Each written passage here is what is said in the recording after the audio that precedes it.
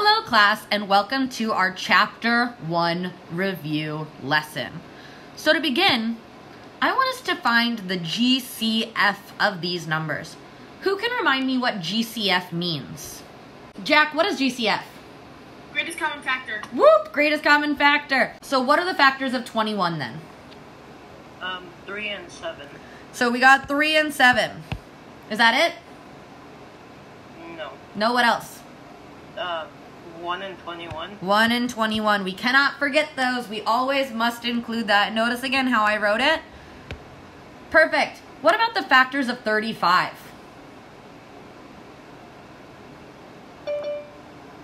One, five, seven. So 1 and 35, and then 5 and 7. Are there any more? Nope, we're good. What about 49? What are the factors of 49?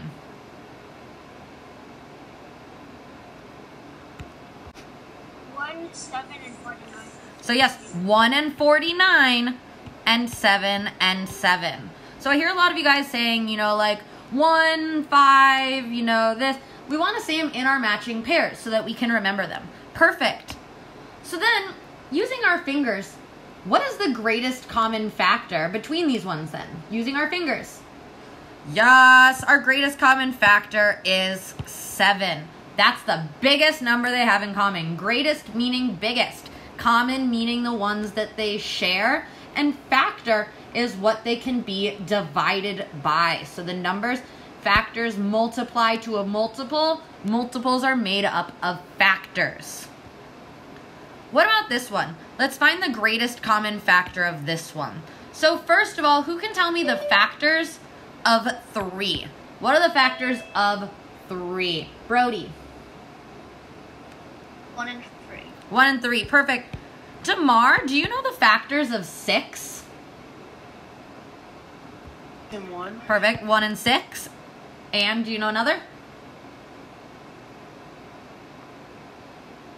Lior? Two and three. Perfect. 2 and 3. Excellent. And then Joshua, what are the factors for 8? One and eight, and two and four. Perfect. So using our fingers, what's the greatest common factor for these numbers? Ooh, we're seeing some mix up. Yes, the greatest common factor is 1. That is the only number all of them share. There is always such a thing as a greatest common factor. There is always going to be a greatest common factor. Sometimes it's just 1. What happens though if I didn't include this 8? Okay, now this 8 is gone. I don't care about the 8. Using our fingers, what's the new greatest common factor? Yeah, I already see you guys doing it beforehand too. I'm super proud. Yes, 3. So it all matters what numbers we have. We have to take all numbers into consideration. So every single one of the numbers must have that match. So we saw this one right here. We've seen this one before. A grocery store clerk has 16 oranges, 20 apples, and 24 pears. The clerk needs to put an equal number of apples, oranges, and pears into each basket. What is the greatest number of baskets that can be made so that there is no fruit left? Here's my problem with this question. The one issue that I have is that they said they need to put an equal number into each basket. What they mean is they meant an equal number of the apples. Everyone has to have the same amount of apples. Everyone has to have the same amount of oranges. Everyone has to have the same amount of pears. But it does not mean that they all have to be the same. It does not mean that two apples, two oranges, two pears in each one. We need our baskets to look identical. Lennox, what am I looking for here? What is my goal? What am I looking for? Um, the greatest common factor. Yes. So I'm looking for the greatest common factor. I see that word greatest right there. That's what's telling me I'm looking for the greatest common factor. I've got 16, 20, and 24. Let's see. Damar, do you know the greatest common factor between these numbers? So, Jack? It's four. Yes, it's 4. 16 is 1 and 16, 2 and 8, 4 and 4. 20 is 1 and 20, 2 and 10, 4 and 5. 24 is 1 and 24, 2 and 12, 3 and 8, 4 and 6. So the greatest common factor, the biggest number they have, is 4. So it's asking what's the greatest amount of baskets I can make. I can make 4 baskets. So I'm going to make I'm going to make different I'm going to make better baskets. Hold on cuz I want to do this.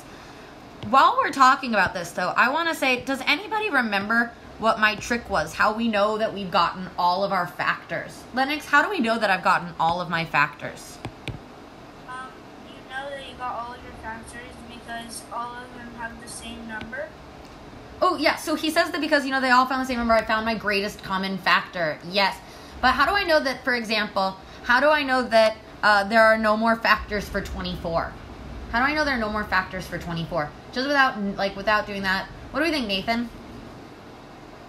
because there were only like two between four and six. Yes. The only number between there is the number 5. We got close down to the bottom. They're super close to one another. The only number between them is 5. 5 is not a factor, so it doesn't work. Here there are no numbers between.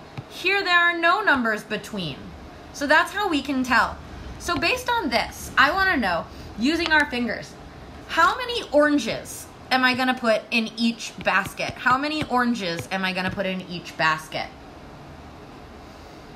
Yeah, for those of you holding your hand up, I'm going to put four oranges in each basket. How many apples am I going to put in each basket with our hands up, with our fingers up? How many apples are we going to put? So, see, we're getting a little bit of this confusion. We're not going to put four apples. We're not going to put four apples. Who can tell me how many we are going to put? Let's see. Yes, Samantha. Uh, five. Why are we going to put five? Because um, the, the number down there, uh, number at the bottom of 20 is 4 to 5. Yeah, so its matching pair is five. The matching pair to our oranges was four. The matching pair to our apples is five. So, based on that, how many pairs do you think you're gonna put in each one using our fingers? Yeah, we're gonna put in six because that right there is the matching pair. So we got one, two, three, four, five, six. One, two, three, four, five, six. One, two, three, four, five, six. One, two, three, four, five, six. So now if you went to the store to buy these baskets, all of these baskets are identical. It doesn't matter which basket you pick up, you'll get the same amount of fruit and the same for each of them. Perfect. So now we have this problem. Using the table, which is this right here, how many out of 400 like math? So first things first is I only interviewed some people. Remember this? I only interviewed some people. How many people did I interview? In this group, how many people did I interview? Total, how many people did I interview? 21. I interviewed 20 people. So, based on that, what is my initial ratio then? What would my initial ratio be for filling this out? What do we think? Yes? Every seven, every seven, seven to twenty. Perfect. 7 to 20. 7 out of 20. He's perfect. That's our initial ratio. Seven people like math, and our total was 20. But I want to find out when it's 400. I don't know. Now I've got a question. We got to go from two or from 20 to 400. Can I do that in a single jump or do I have to double jump it? Single jump, yes. Double jump, no. Put that. Single jump, yes. Double jump, no. Yes, I can single jump. Lennox, how do I go from 20 to 400? Um, you multiply it by 20. Yes, and what we do to the bottom, we do to the top. 7 times 20. 7 times 2 is 14, and then with the little zero at the end gives us 140. What that means is that if I had 400 students that I talked to, probably 140 of them would pick math as their favorite subject. That's the point of what we're doing. These are two equivalent fractions. These are two equivalent fractions. Okay. We're going to come back to ratio tables in a bit. But before we do that, who can tell me the initial ratio that I have here? Who can tell me the initial ratio? So look at it right down here at the bottom, my initial ratio. Let's see, Nick. Uh, 3 over nine. Edson says eight. Edson says it's three over eight. It's actually well, the number was nine. But do we agree? Do we think the answer is three over nine? Some of us are saying yes. But we're having a problem here. What was the problem? There's something that it's not, Emma. Um, I think it's 9 over 3. Yes, it is nine over three or nine to three. Why is it like that, Emma? Because it has hearts first. Yes, she paid attention. Look down here. I wanted it in hearts to stars. So I want it 9 to 3. Excellent. That's our initial ratio. Cool, we're done, right? No, Jack, what do I have to do?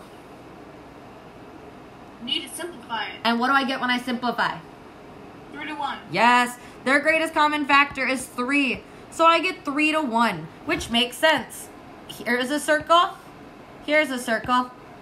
There's a circle. Aren't those all identical? Don't they all have the same things in them? Yep. And I can't combine them in any other way that makes them smaller with the same things. So this is our correct answer.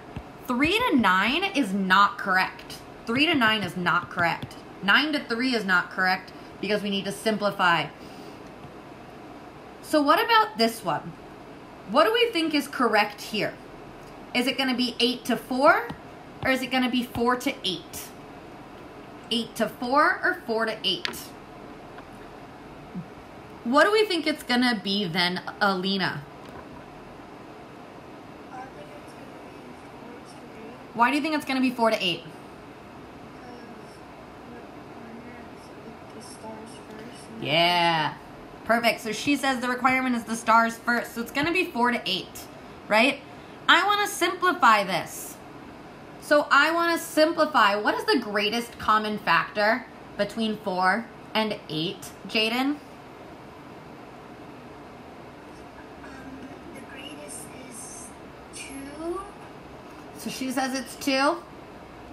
Or he's, he says it's 2. What do we think, Brody? It's 4. It's 4. So I can divide them both by 4. 4 divided by 4 is 1. 8 divided by 4 is 2. I'm sure that that's what he meant when he was saying it when Jaden said that. So that would be our simplified version. 1 star to every 2 hearts. 1 star to 2 hearts. 1 star to 2 hearts.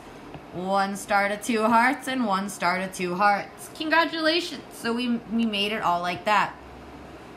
Let's look at this one. We did this one. Four kids spend twelve dollars at uh, on lunch. At this rate, how much would ten kids pay? What is our initial ratio? What is the initial ratio, Lennox? Um, for the kids, for the four kids, or for the ten kids? For the four kids, our initial ratio. Oh, four, four twelfths. Perfect. Four twelfths, four to twelve, anything like that. Perfect.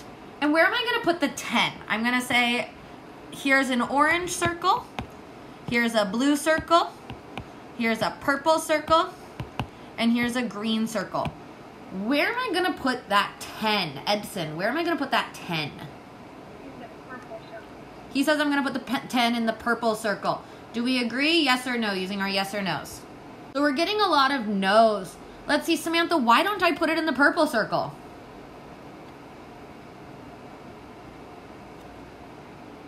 The kids are supposed to be on top. Ah, uh huh.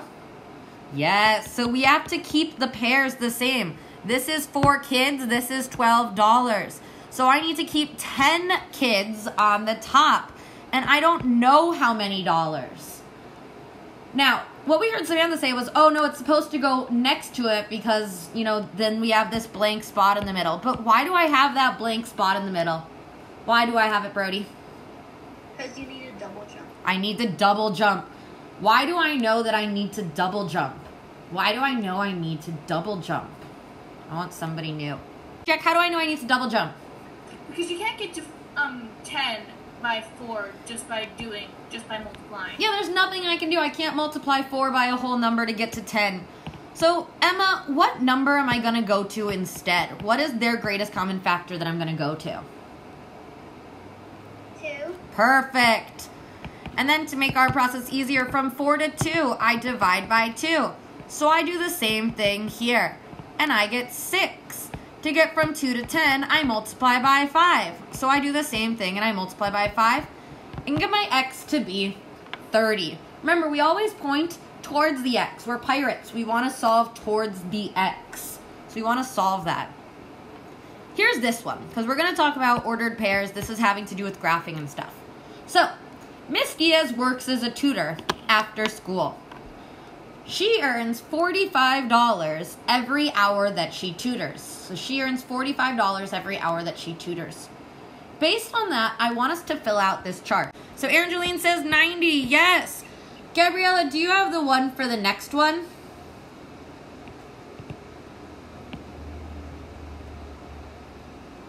So Miles got 180. Jade, do you have the one for number five?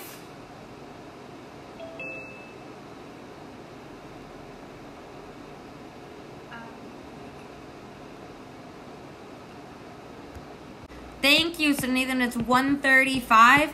And let's see, Edson, do you happen to have it for number five?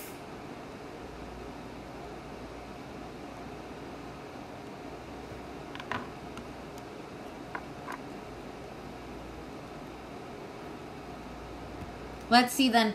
Damar, what is it? 225. Yeah, 225. Great job, you guys. So now if I'm going to write it in an ordered pair, ordered pairs look like this. We got a parentheses and we got a comma in the middle. And then we've got two things that we got. We got two things, okay? So, is it going to go like this? Is it going to be x comma y? Or is it going to be y comma x? I'm going to fill this in. So if you think it's x comma y, I want you to hit the go slower button. If you think it's the y comma x, I want you to hit the go faster button. Yes, it is this one right here. It is the x comma y. So it is not y comma x. And does anybody have a way that they remember that it's x comma y first? How do we know that it's x comma y? What ways do we have there? Anna Jolene? I, I just remembered that uh, X comes first. You guys remember that x comes first? Do you have a trick, Jack? I remember the alphabet. In the alphabet, X comes before Y. Look at that. That's my perfect way right there. He remembers the alphabet. That's exactly my trick. X comes before Y in the alphabet, so X comes before Y in our ordered pairs. Then we have things called dependent and independent variables. So we were talking about this. Independent variable, that's the variable that does not change. It is the variable that um, when we put it in, the other one is dependent on it. So the other one is dependent on this variable. So looking at these, which one do we think is the dependent variable? Do we think the dependent variable is our uh, is the hours or is it the money? Which one depends on the other? So by that I mean, do the hours I work depend on the money I get, or does the money I get depend on the hours I work? So do the hours I work, Brody? What do you think? The hours you work depends on the money you get. The hours I work depends on the money we get. What do we think? We agree? Yes? No? Some of us are saying, some of us, we're going half and half. Lennox? So actually, it's a great guess, but the hours I work, so if I work four hours, that's when I get $180. I don't just get paid and then get to decide how much I work. I don't I have to work in order to get paid. So the dependent one is my money. So the independent one, my independent one is my X. And my dependent one is my Y. That's just something that we know for the future. Unit. We were learning about this before. Unit rates. What is a unit rate, you guys? What's a unit rate? Nobody knows. Come on, unit rate. Let's see, Brody. Um, doesn't a unit weight have to have one in it? Yes, it has something to do with one. It means it is over one. Remember, we got that phrase uni or even that un. You know, we've got unicorn, unicycle, unibrow, unite, stuff like that. All of these mean one, come together as one. So, how much would this unit rate be? So I've got 20 and 8 tenth gallons of paint, and I've got four containers.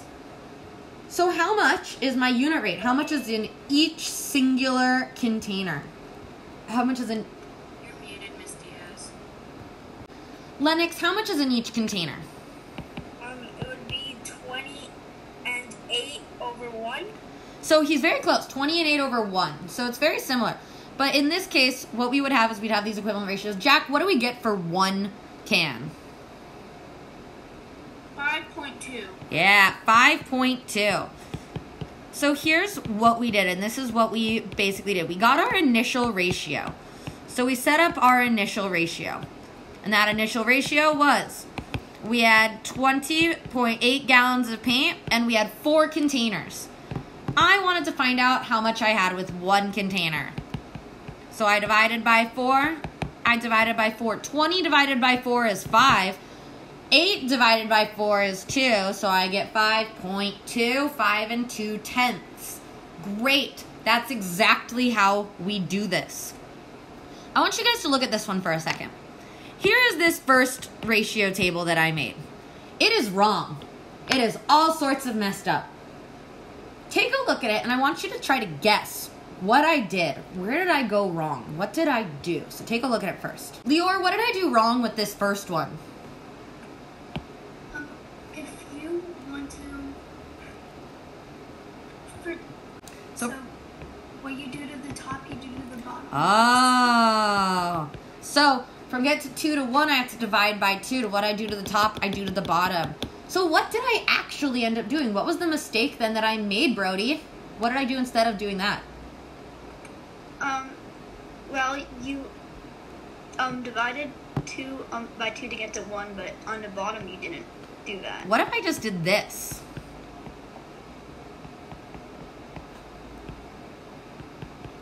Look at that. I'm doing the same to the top and the bottom, right? Both of them I subtracted one, same to the top and bottom. I added 14, same to the top and bottom. Wait, but why doesn't this work? Why doesn't this work, Brody? Because you're not allowed to subtract or um add. Yes, you are not allowed to subtract or add ratios, equivalent fractions, all of this. They must be done with multiplication and division. So multiplication, division only. So what would my actual answer be? What number would go in this circle right here, Lior? Right there. Three. Perfect. And then what number is going to go right there, Jack?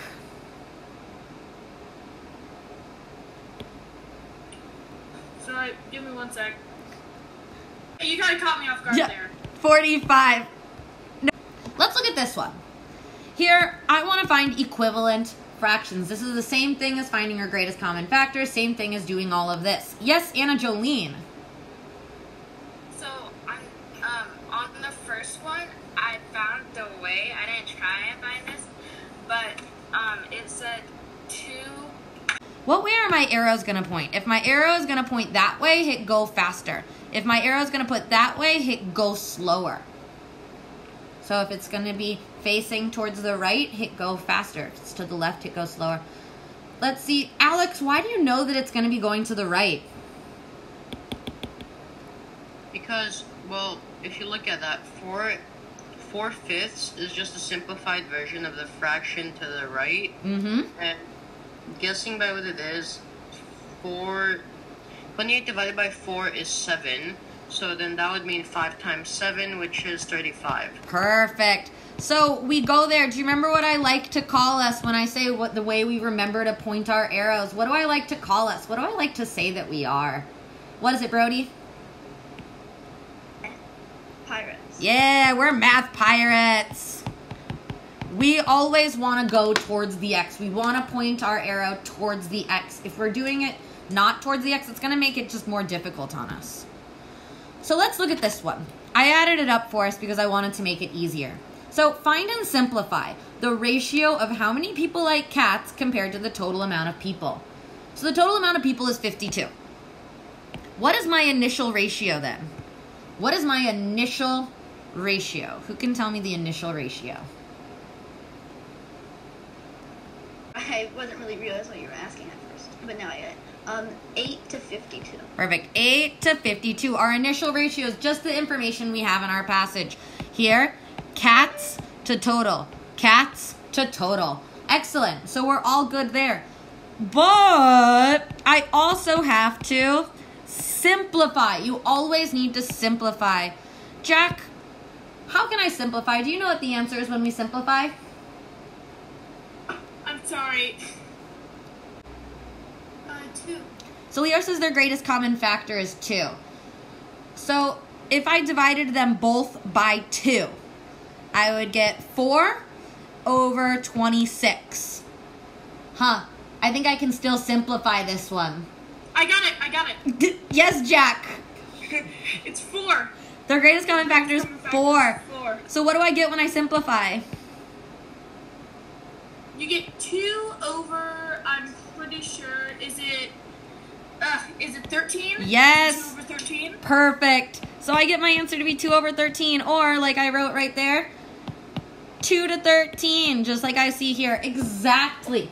Always remember that you have to get as simplified as possible. 13's prime. I can't get any smaller than that one. So here I've got this pie, okay? So I've got this piece of pie right here. One of them has six slices and three have been eaten. The other one has eight slices, and I need to figure out the equivalent. Is this going to be a single jump or a double jump? What do we think? Raising our hands, single jump or double jump? Lior? Double. Because as we mentioned earlier, we can't go straight from six to eight. So the number that they have in common, what is their greatest common factor? What's the greatest common factor? Are you using your fingers? Yeah, most of you are getting it. Their greatest common factor is 2. So from 6 to 2, I divided by 3. Divide by 3 here. We get 1. From 2 to 8, I multiply by 4. So I do the same here, and I get 4. So let's watch. I'm going to make my new try, or I'm going to make my new pie. And then this is something that I was really stoked to do earlier. So now I've colored in all of my pies. Are these all the same, you guys? Yeah. In fact, watch this. This is something I really like. Look at that. Went right over. It's the equivalent fraction. And then I continue. It goes right over. So that's the equivalent fraction. We see, look at that. It's so cool. I love this click and drag thing. So, so we're going to now play the single or the double jump game. This one I'm just to fill out pretty basic numbers. So we're to start here just single versus double hops. Let's look at this first one. 5 and 20. Is this to be a single jump or a double jump? So using the participants, those will be the keys that we use. So I'm getting, so it's some of our voting. Yes, it's to be a single jump because I can go straight from 5 to 20. I don't need to jump to anything in the middle. I don't need to go to anything in the middle to change my answer. I don't need to do that. What about this next one? Let's see.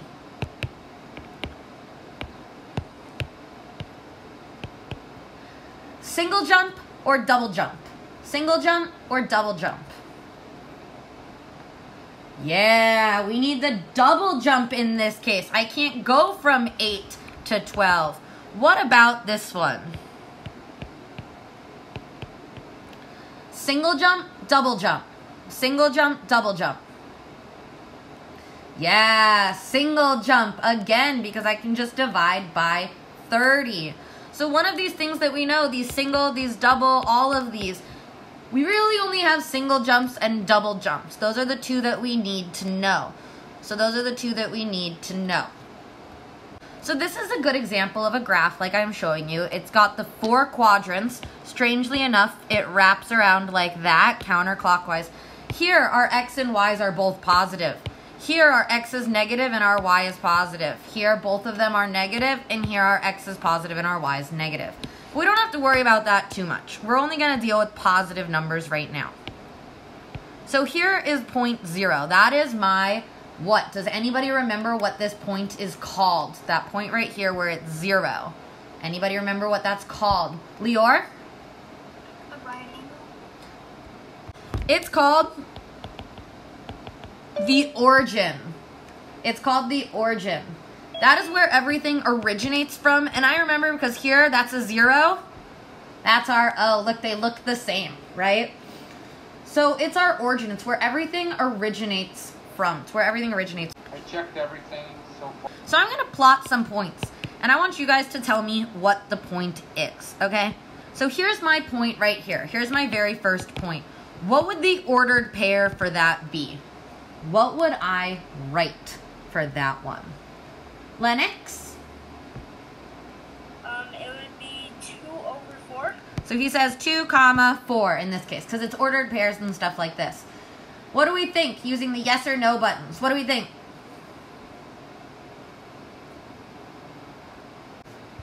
So it is not correct. We're almost correct. But what would make it correct? What is the correct one, Lior? Four comma two. 4 comma 2. Yes. As we mentioned earlier, we always go x comma y. And now how do I know which axis is which? Do you guys remember my fun little way that we can remember which axis is which? Does anyone remember? Emma, do you know? Um, because of the alphabet. Very yes, very close to the alphabet. So the way we know which axis is which is this line. Look at that. That makes a Y. Capital Y. And the other line, oops, we're dead. We got little X's for eyes. That one is our X axis. So that's how we know what they are. Literally, this one is shaped like a Y.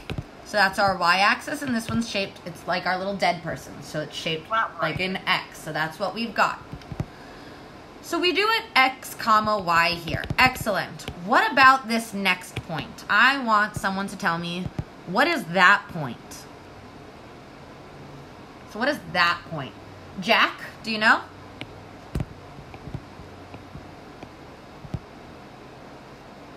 Sorry, I just fell out of my chair. Um, Perfect. So we get 3 comma 6. So most of you got it correct. The correct answer is 8 comma 0. Some of you put 0 comma 8. Remember, we do x comma y. Based on that one, based if that one was 8 comma 0, what do we think the pink dot is to be? What do we think the pink... So exactly, it is 0 comma 2. Look at how great you guys are at doing that. That's all it takes. When we're doing equivalent fractions, however, even easier. When we're doing equivalent fractions and we're graphing those, when we're graphing all of them, it's to typically form a line. So I'm to make one here, here, here, here. Notice that it forms a nice direct line. And what's happening with each of these? If I was asking you to describe the pattern in this graph, it's doing what, Lennox? What is happening in this graph? Um, they're both. They're all moving one space by a space. I think Yep. that's okay. So they're going to the right one. What else, Anna Jolene? Oh, I have a question. Oh, yes? It's That's going up by two. It's adding two. perfect. So it's going up by two. Every time it goes over one, it goes up by two. Excellent, you guys. You guys are killing it. You guys are doing so well. So I'm really, really proud of you. Remember these double jumps. Remember these single jumps. Try to work through it like that, okay? Excellent.